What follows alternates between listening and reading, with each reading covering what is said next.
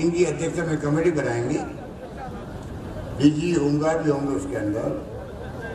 DG police से बात करेंगे, वो भी प्रतिनिधि रखें। सब मिलके बताए मुझे अगले तीन चार महीने में कि देश के किस राज्य में सबसे अच्छी व्यवस्था होमगार्ड के लिए, वो व्यवस्था रास्ता में लागू करने की मैं सोच सकता हूँ, ये मैं कहना चाहता हूँ।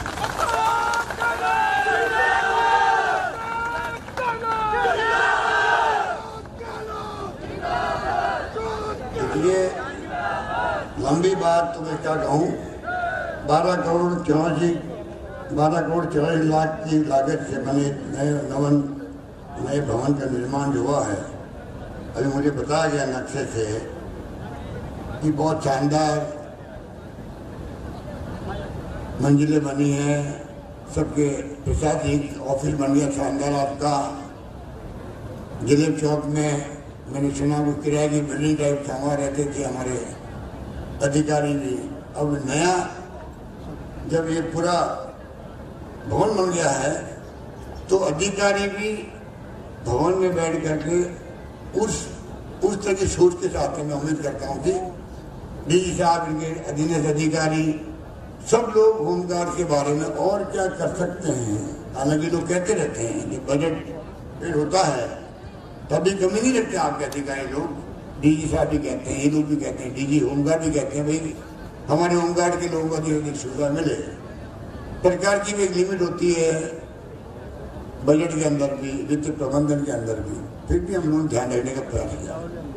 आपकी एक मांग जो मुझे बताई गई बार बार होती रहती है जो होमगार्ड के और होमगार्ड वॉलेंटियर्स है पर पाँच साल में इनका अनुबंध, नवीनीकरण, कॉन्ट्रैक्ट रिन्यूल होता है। ये पाँच साल की अवधि बहुत जल्दी आ जाती है। और आपको तकलीफ़ भी होती है कई लोगों का हो पाता है कई लोगों का नहीं हो पाता है। नहीं होने के कई अन्य कारण भी होते हैं। फ़िज़िकल भी होता है। और भी कोई शिकायत हो सकती है। भेदभाव हो सकता है। कुछ भी हो सकता है। तो मैंने तय किया, अब ये पाँच साल की अवधि आपकी सीधी पंद्रह साल की जाएगी, ये मैं कहना चाहता हूँ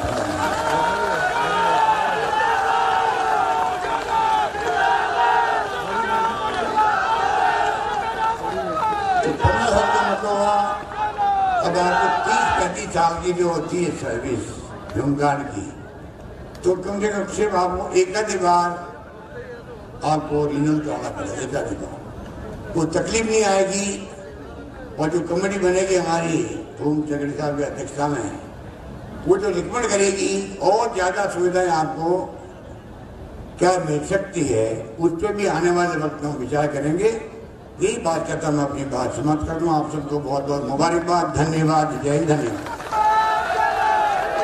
धन्यवाद। बहुत बहुत धन्यवाद।